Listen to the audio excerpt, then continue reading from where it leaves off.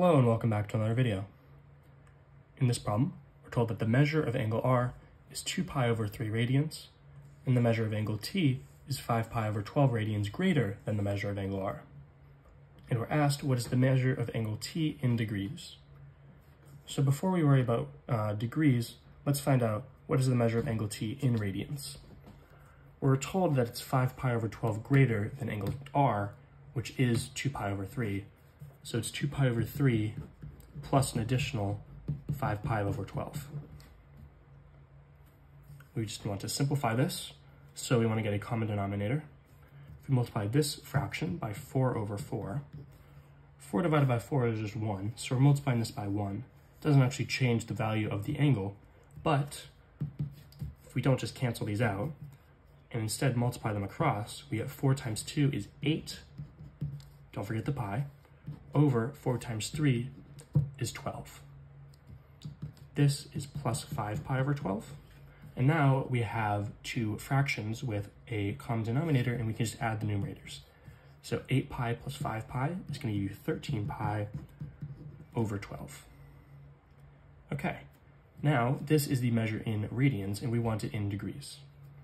So 13 pi over 12.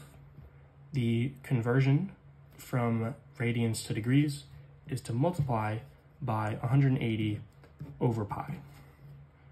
If this is hard to remember, then you can note that in a circle is 360 degrees or 2 pi radians.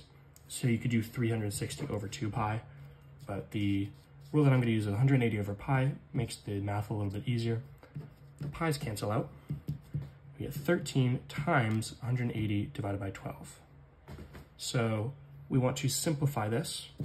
So we can see 180 is divisible by 3, right? It's 3 times 60.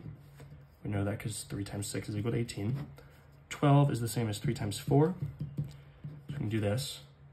13 times 60 over 4. 60 is equal to 4 times 15. So then these 4's cancel, and we're left with 13 times 15